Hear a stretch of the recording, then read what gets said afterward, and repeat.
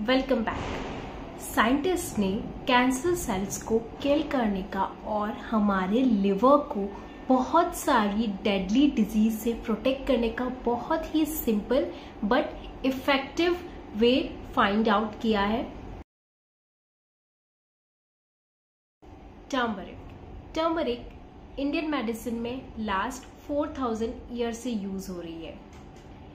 But present time पर whole world is obsessed about turmeric because turmeric has anti cancer properties turmeric का एक active ingredient जिसको काक्यूमीन कहते हैं, उसमें ये प्रॉपर्टी होती है। Turmeric has so many medical properties anti fungal है एंटी बैक्टीरियल है एंटी कैंसर है एंटी ऑक्सीडेंट है एंटी इन्फ्लेमेटरी है।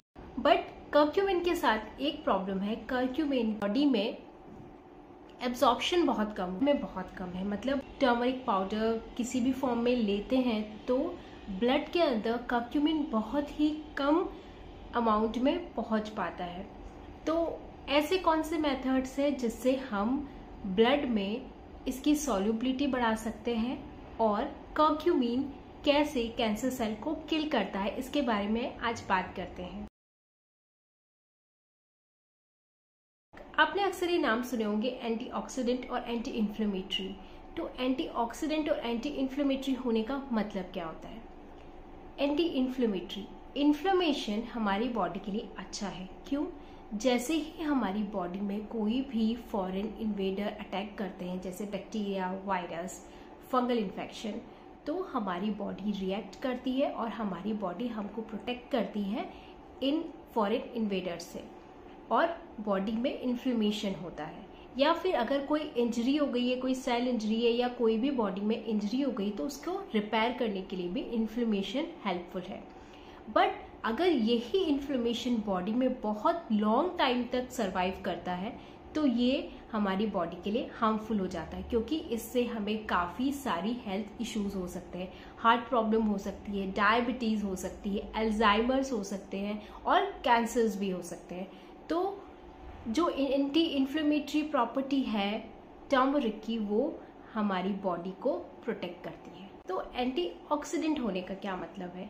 हमारी बॉडी में अगर कोई भी फ्री रेडिकल एंटर करता है थ्रू रेडिएशन और कोई किसी भी मेथड से तो ये फ्री रेडिकल्स हमारी सेल्स के लिए हार्मफुल हैं और हमारी सेल को डैमेज करते हैं।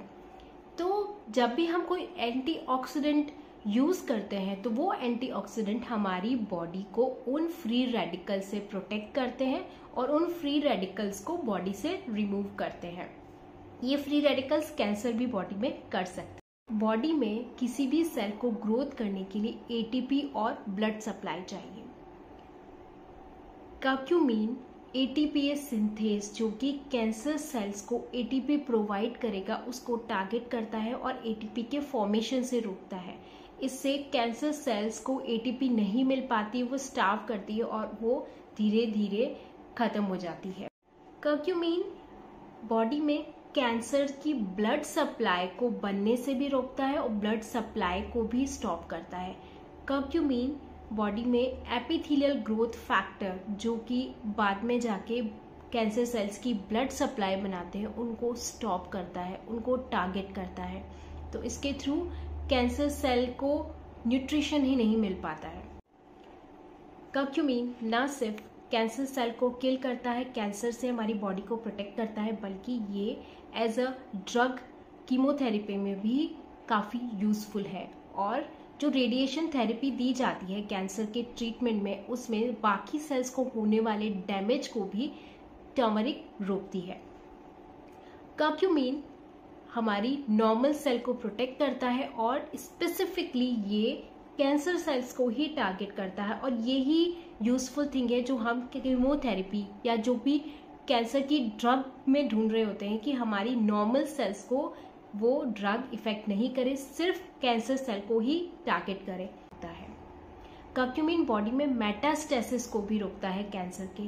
कैंसर का मेटास्टेसिस का मीनिंग है कैंसर ब्लड के थ्रू या लिम्फ के थ्रू पूरी बॉडी में स्प्रेड कर सकता है। तो कर्क्यूमिन बॉडी में कैंसर के स्प्रेड को भी स्टॉप करता है।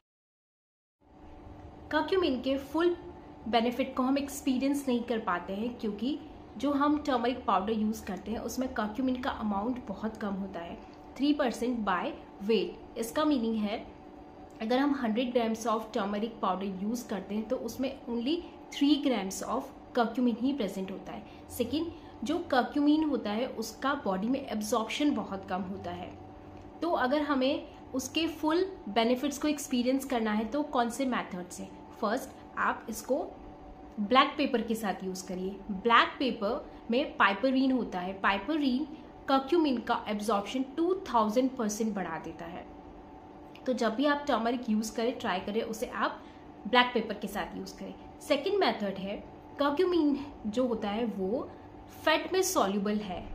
तो आप जब भी कर्क्यूमिन यूज़ कर रहे हैं या टर्मरिक पाउडर यूज़ कर रहे हैं तो ट्राई करें। उसको अगर आपको उसके फुल बेनिफिट चाहिए तो आप उसको हाई फैट फ़ूड के साथ या अगर आप मिल्क में ले रहे हैं तो ट्राई करें कि आप full fat milk that's all for this video अगर आपको ये इन्फॉर्मेशन पसंद आई तो just like my video and don't forget to subscribe to my channel